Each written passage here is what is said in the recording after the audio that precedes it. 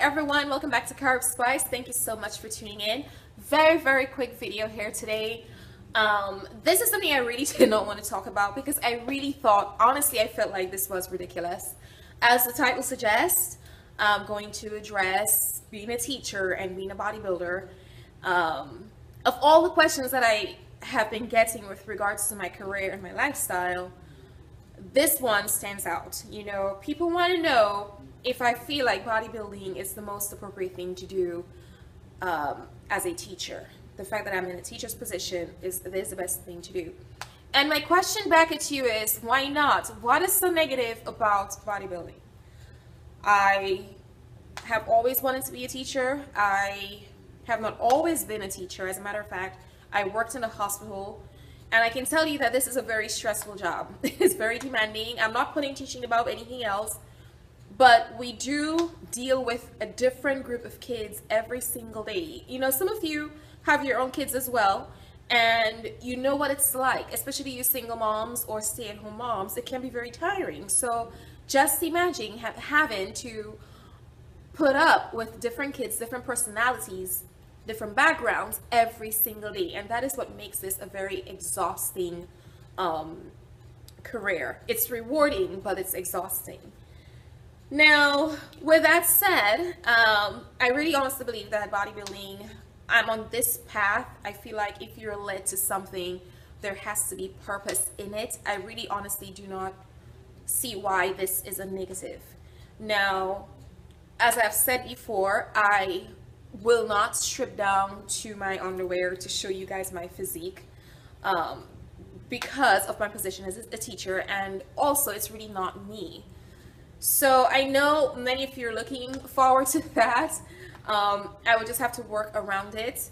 And I'm not sure if that's where the concerns are coming from. Also, I know bodybuilding um, is known for its drug use, especially the female bodybuilders, you know, the big girls. They are on drugs, you know, they take the steroids and whatever um, because you don't just lift and get big, right? But I do consider myself a natural bodybuilder or aspiring bodybuilder. And, um, you know, in that sense, it is just really not a negative. It is funny though, when my students realized I was really into the lifestyle, I did not tell them anything. They, you know, kids are very curious. They went searching and looking and they found stuff out. And um, the good thing about that, well, what I did prior to starting off the year or any academic year with my kids, I always had the conversation with my principals and some of my colleagues, and I, you know, I let them know straight out what I'm doing, what I'm about, so there are no surprises. And my administration, they're not bothered by it. My principal is not bothered by it. She's very supportive. As a matter of fact, she might actually come to my competitions. Um, and so different teachers have different things. There are teachers in MMA, there are teachers in just different sports. I just happen to be a female teacher in bodybuilding. Um, my kids, so when my students realized, and I keep saying my kids because every teacher says my kids, when they realized I was into the lifestyle, their attitude towards me changed. Not that it was bad at first, but they became a little bit more respectful, especially my female students. They realized, wow, you know, here's this teacher who is doing all of this academic stuff, teaching chemistry, which, by the way, is not the easiest of the subjects for them. But she's somehow able to manage a family life, a career, and she's able to have fun um, doing what she loves. And that is always what I want to put out there for my kids. You know, be the best that you can be. Go for being the, go for full potential with everything that you do and don't let anyone stop you. Don't let the opinions of others stop you. Um, because you really do have this one life and you really do want to make the most out of this life. So a part of teaching my content, I'm also bringing across these messages as well. And I think my students genuinely appreciate that. Some of them came over to my channel and guess what? Some of them actually started training to compete in team categories. They come to me, they ask me nutrition well, questions related to nutrition and workouts and bodybuilding. And the conversations are kept appropriate, okay? Um, and it goes both for female and male students. I, when my kids walk in here, my classroom is open it's an open room. I make myself available available to my students.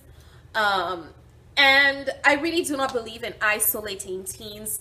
I teach teenagers, I teach high school students, and um, they are becoming adults, okay? They're growing up, and I honestly think the more open and honest I can be with them, the more appreciative they'll be of me. So I really don't see an issue with my lifestyle. Um, I have teacher friends, not in, at my campus, but other teachers who compete. They walk across the stage with opposing suit, and they're some of the most strict individuals I know. Um, and just like me, my students under, understand there are times when we laugh, there are times when we have fun in class, and there are just times when we get serious and we work, and that is most of the time. So I'm doing this, it's positive, it's a good for me. I found an outlet for, I guess, my hard days. Even on my good days, I work out. This makes me happy. Working out makes me feel good. I guess it's all of the endorphins. Um, and it just puts me in a good mood and it keeps me healthy and keeps me strong. And that makes me a better teacher for my kids. So if I'm doing something that is better for me, consequently, it's going to be good for them. So I don't see what the issue is with a teacher who decides to take on the bodybuilding lifestyle.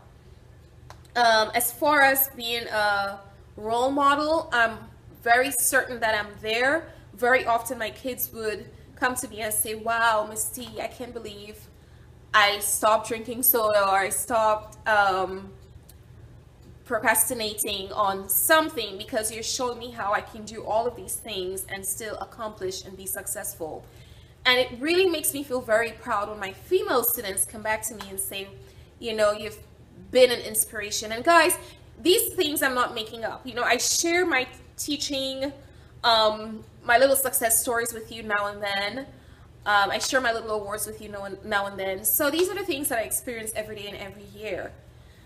Um, with that said, you know, if you if your child is taking a class with a teacher who is living this lifestyle, relax. Okay, I hate putting it like this, but this is not the worst that can happen from a teacher to a student or vice versa, okay? Um, it can be used as a positive. If you have discipline issues with your kids, this can probably be one of the best outlets for them. So give it a try, okay? It's not the worst. That's it, guys. This was not necessarily a rant. Um, I just kind of wanted to put that out there because it's a question I get quite often. But I decided to just go ahead and address it today leave me a comment. Don't be afraid to leave me a comment. Let me know what you think. If your child had a teacher who was into the lifestyle, would you feel indifferent or just let me know? All right? See ya.